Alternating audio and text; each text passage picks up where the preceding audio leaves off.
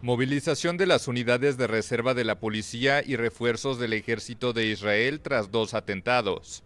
Un hombre murió y cinco personas resultaron heridas el viernes en un ataque en el centro de Tel Aviv, registrado en plena noche del Sabbat durante la semana de las Pascuas judías.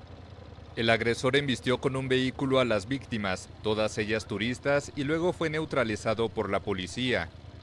Este atentado se produjo horas después de que dos hermanas israelo-británicas murieran y su madre resultara gravemente herida en otro ataque en el asentamiento judío de Efrat en Cisjordania, un territorio ocupado por Israel desde 1967. El gobierno había prometido mano dura contra los atacantes. Haremos rendir cuentas a cualquiera que lastime a ciudadanos de Israel, y los llevaremos al cementerio o a prisión después de una investigación. Cualquiera que trate de convertir los días de celebración en Israel en días de duelo lo lamentará mucho.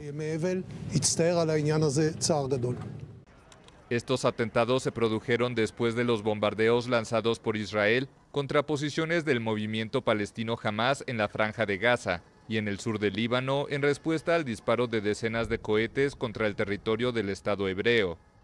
Hamas y la yihad islámica informaron el viernes a Egipto, que normalmente actúa como mediador, que las facciones palestinas van a seguir con los lanzamientos de cohetes y Israel continúa sus agresiones y bombardeos.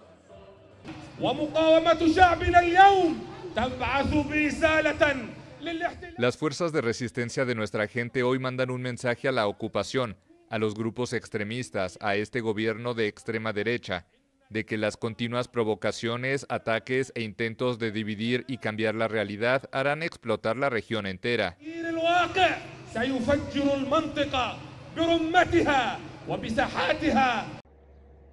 El brote de violencia se desencadenó tras la irrupción de las fuerzas israelíes el miércoles en la mezquita de Al-Aqsa de Jerusalén, tercer lugar sagrado del Islam, en plenas celebraciones del mes musulmán del Ramadán.